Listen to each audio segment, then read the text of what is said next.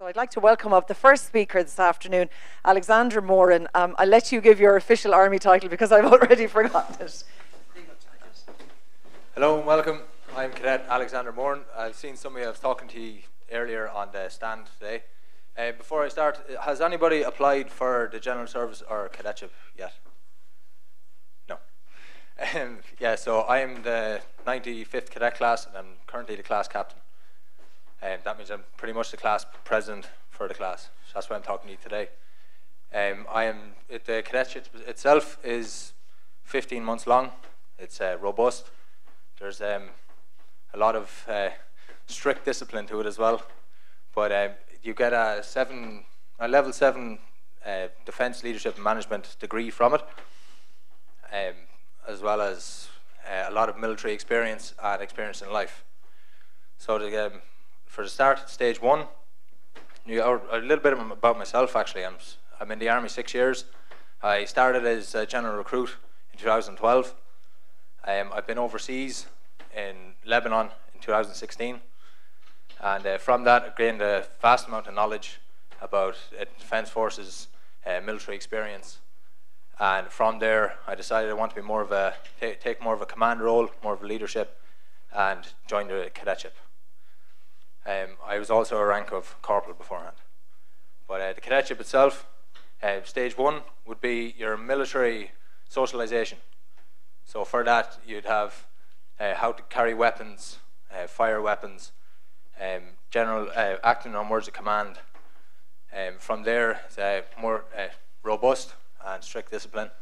Um, you'd be kept in for most of it for, the, I'd say, four months from October when it starts until you have um, until Christmas, I'd say. So you get off for Christmas then after that. But after that, then you have stage two, so it's where your development stage. Then you become um, more of a leader in your section.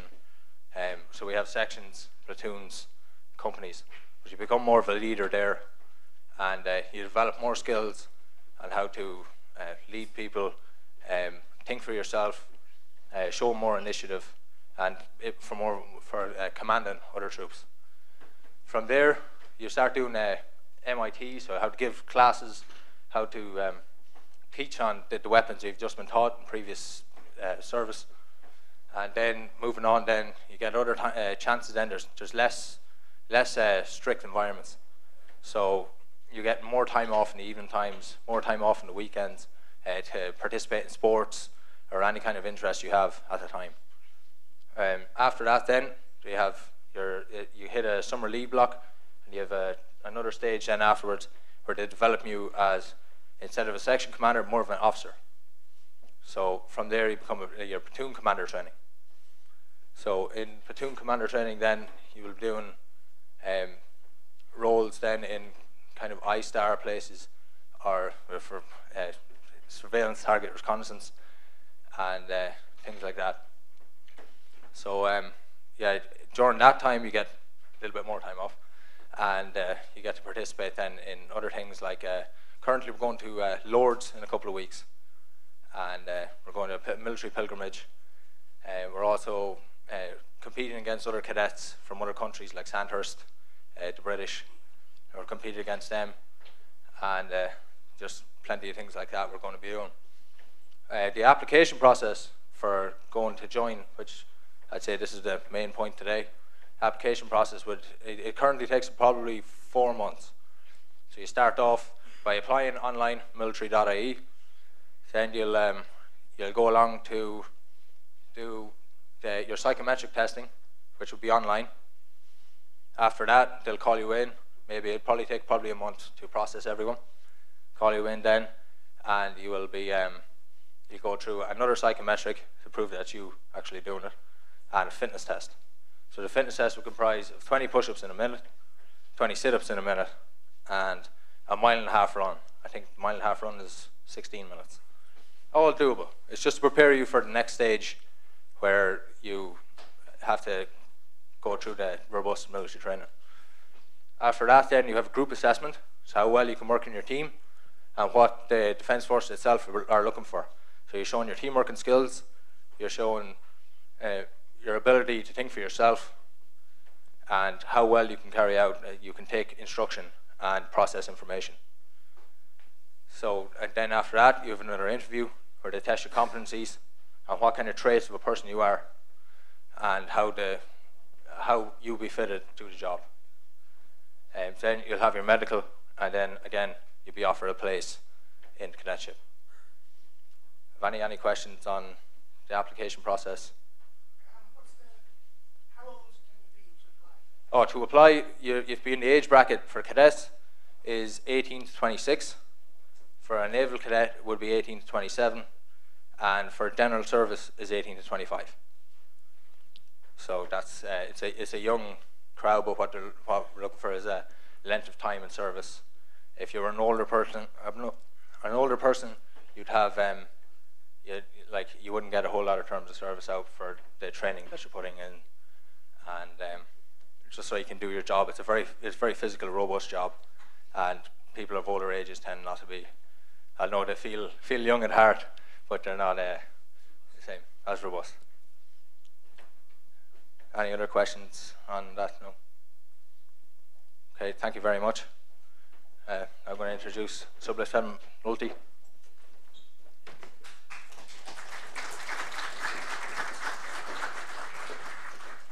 Hi there, uh, my name's uh, Sublieutenant Darren Utley, and as you can tell from the different rig, uh, I'm a member of the Irish Naval Service. Uh, I'm an uh, officer serving now, just going on seven years.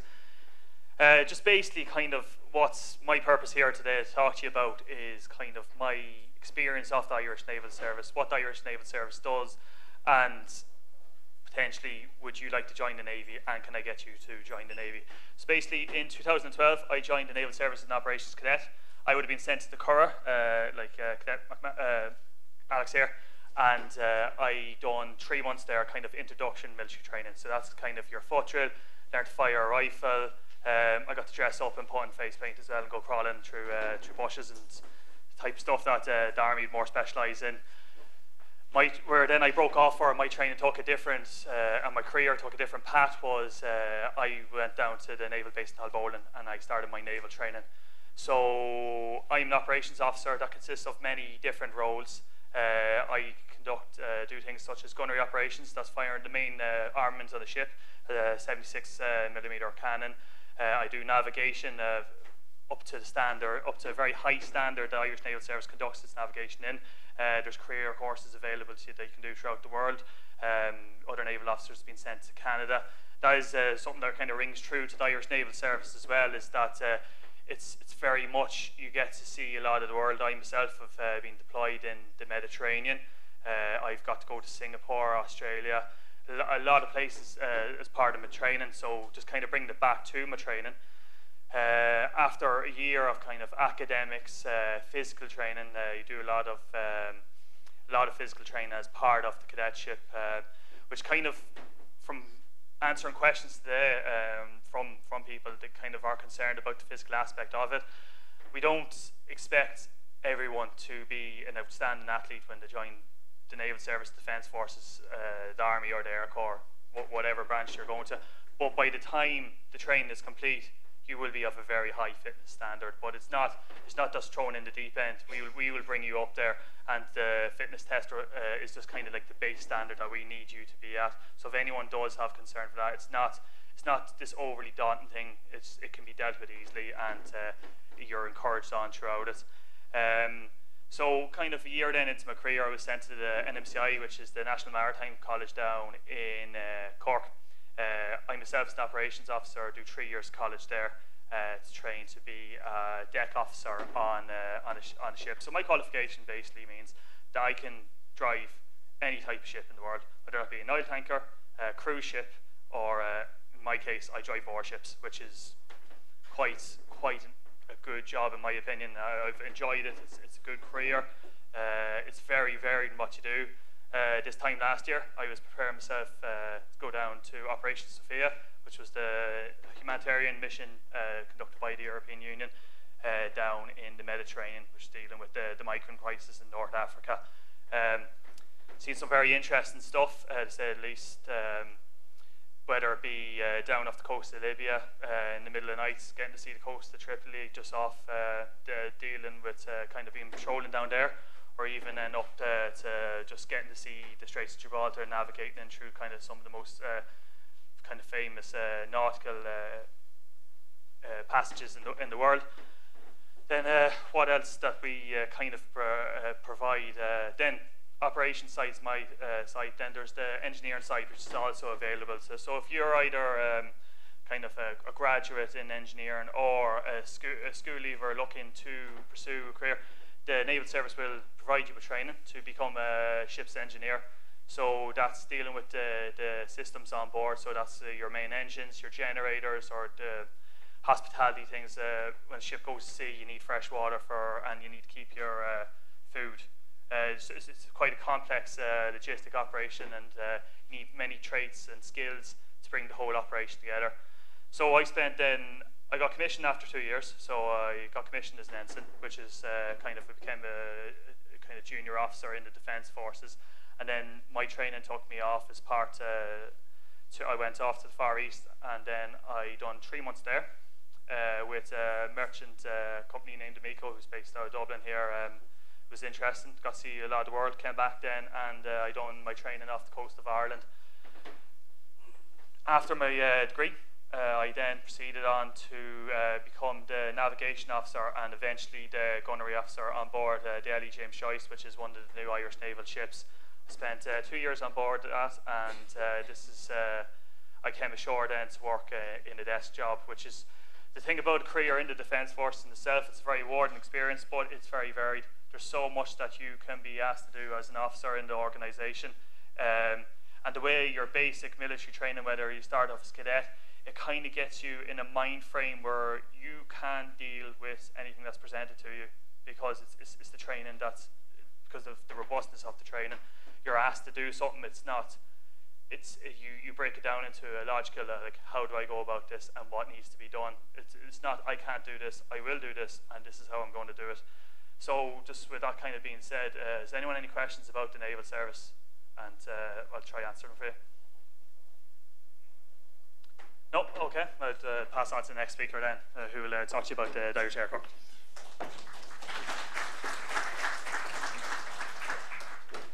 Good afternoon. So my name's Lieutenant Christopher Jevons of the Irish Air Corps, so the air component of the Irish Defence Forces. Um, so question I suppose we hear a lot is what does the Air Corps do? Um, so as the air component of the Irish Defence Forces, I suppose our obvious role is to contribution for state security and security of, of the Irish state. Uh, but also the Air Corps and the Defence Forces are kind of a, a multi-tool of asset of the Irish state.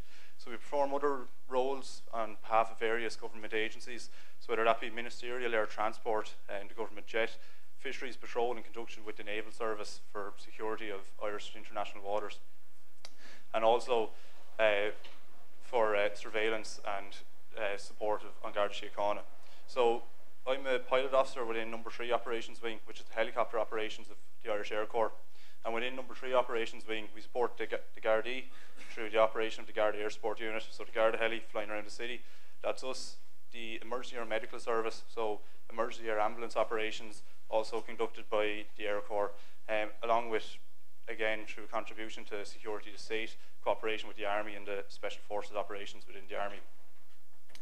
So my story, uh, I joined as a school leaver into the pilot cadetship, which is open at the moment for the Irish Air Corps. Again, would have trained with the army cadets uh, through the process that Alexander brought you through earlier on, and then back to Baldonnel, so our HQ is in Casement Aerodrome Baldonnel, just uh, by Citywest here in Dublin. So the pilot training consists of theoretical ATPL training, um, which is the international civilian standard uh, for theoretical training for um, for commercial pilots. So that's the base le base level education you get, and then you go through flight training on the Pilatus PC-9 training aircraft. On completion of training, then you're uh, issued with your military pilot's wings, but also you're uh, accredited with a commercial pilot's license. So within the Air Corps, obviously the flight training is completely funded and free. Um, you're paid for your training and paid for your accommodation throughout, and then you get a accredited um, commercial pilot's license at the end of it.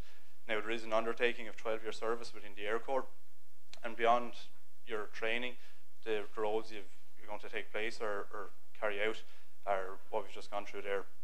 So for me, I went to helicopter operations wing.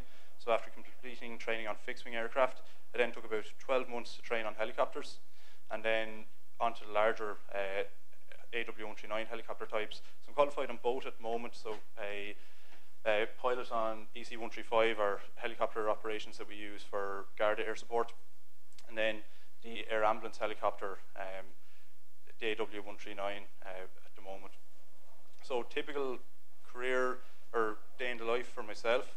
Uh, so I would do it two weeks of the month uh, on emergency air ambulance services in Athlone. So we're down there, we're on 365 day um, uh, response and we're there 12 hours a day on behalf of the National Ambulance Service to respond to emergency medical calls. Back in Baldonnel then, where I spend the other two, two uh, weeks in a month, we conduct either mostly training and also that's where our Garda Air Support is based from and we'll also conduct uh, co cooperation with the Army, whether that be uh, surveillance or cooperation with the Navy, whether it be surveillance in, in the maritime domain as well. So I suppose I'd like to know if anyone has any questions about applying for a pilot cadetship within the Air Corps and becoming a pilot in the Air Corps, if anyone has any interest. So the age limit for the Air Corps cadetship is 18 to 26. So minimum 18 to 26 um, for either Irish nationals, EU nationals, or uh, anyone with uh, residency within the Irish state, um, graduates or non-graduate school leavers as well. Uh, good afternoon, everybody. My name's uh, Commandant Barry Ryan. Um, I have a few more miles on the clock compared to my more youthful colleagues here, so I'm not going to give you my complete life story. Uh, suffice to say, uh, I'm an Army Engineer Officer.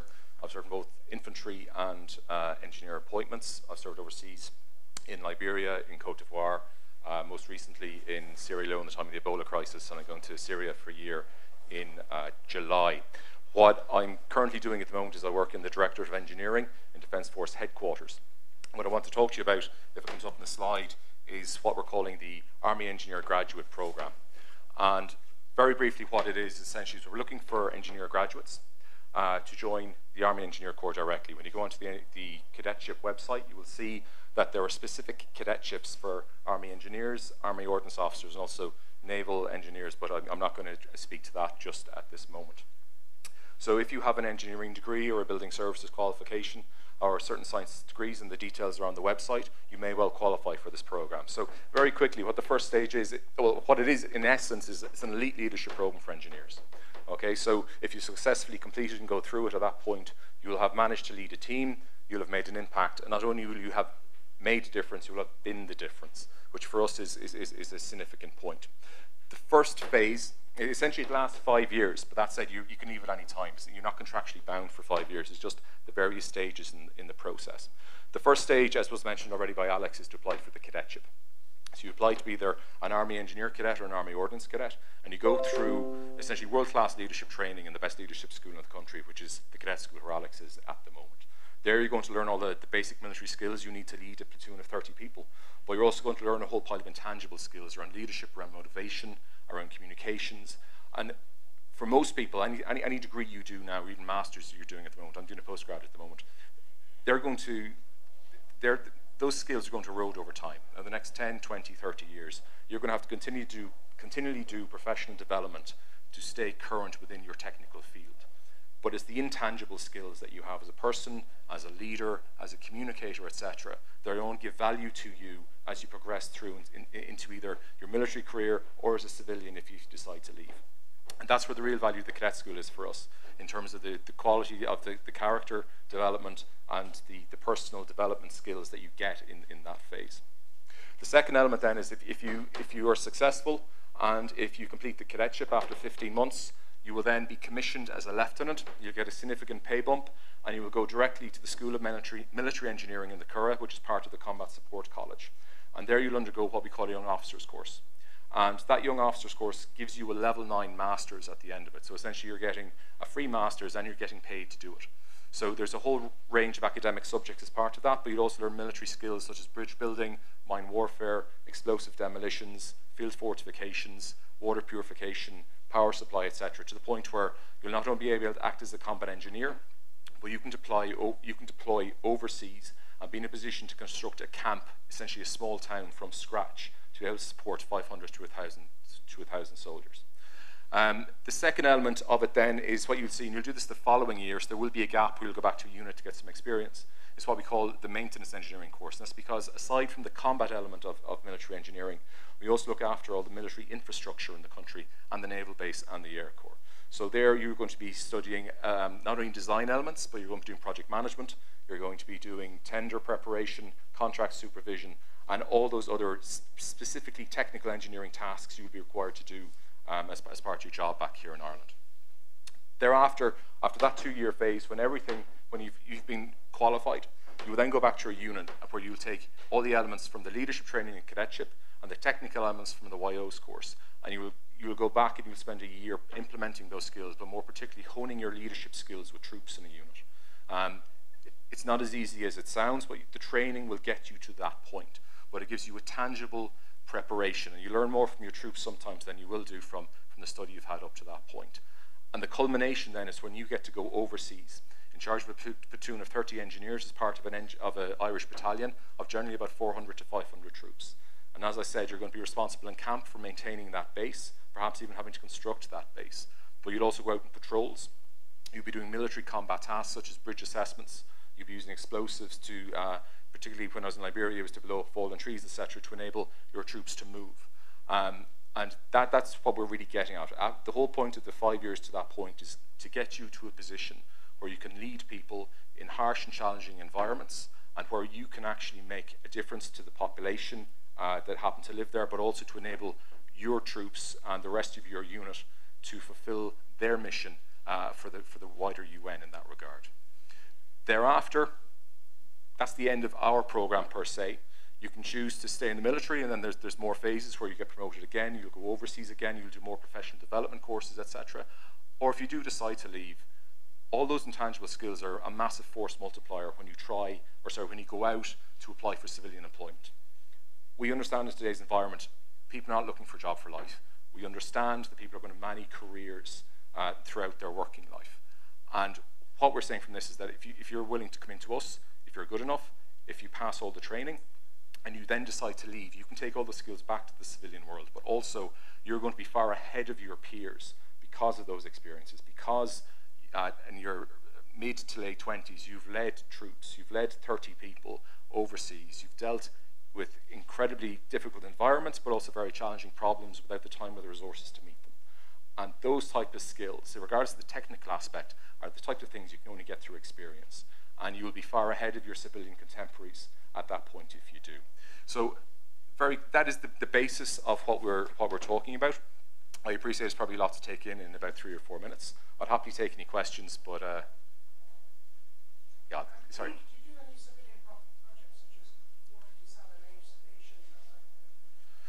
Um, so when I was in Liberia, so I, uh, my, my, I have a degree in civil engineering in, in addition. Um, when I was in Liberia, we were responsible for we, we water purification plants. They worked in reverse osmosis for providing water to our base. So we were responsible for that. We'd also had generators for power supply. We had sewage plants for wastewater treatment. And essentially any, anything you take for granted in your house, your home, your town, your city, we had to provide in situ. Um, when I was in Liberia, sorry, in Sierra Leone, I worked in the Ebola treatment center. I was a consulting engineer. I was attached to the embassy, but essentially I was, I was lent out as a consultant to, um, to Goal and Concern and to other NGOs. So again, we wouldn't have used salination plants, but we would have dug wells. We would have built everything to local standards. So in order that they could be maintained when we left, as well as implementing the, the very rigorous health standards that were imposed given the, the nature of the Ebola virus. So there was a double challenge of trying to deal with the local conditions, the local materials, but yet provides a solution that was sustainable and that met WHO standards going forward. So I don't know if that answers your question, but bottom line, that would be one aspect of what we do.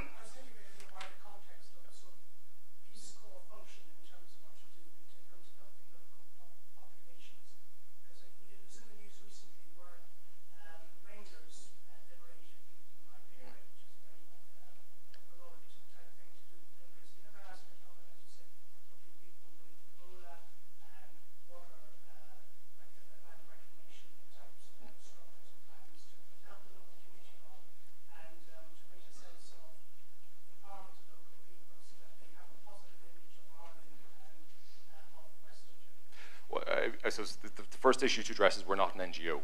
That's not our primary purpose. So our main reason, our primary purpose for being there is to fulfill a UN, UN mandate. And more often than not, it's that ourselves and other military units from other countries are in location to provide a safe and secure environment for other people, such as NGOs, civil society, or perhaps if, if things have been particularly bad in that location, for, for local government to be re-established. After that, um, we are then in the position to, to do uh, what we call quick impact projects, or sometimes we get funding from the Department of Foreign Affairs or from Irish Aid that we, we can also implement. But it isn't our primary function. But there is, that is certainly a component. And in every mission I've been on, there has been, um, we have done projects uh, that have specifically helped uh, people in the locality of our base, or when we patrol, we provide medical assistance, etc., etc. So it is a component, but it's not our primary purpose. I have to say, it makes a real frisson of excitement to have somebody talking about going on missions at Jobs Expo. Uh, there's a gentleman here down the back as a question. I think we may have to, this may have to be our last question. Hello, sir.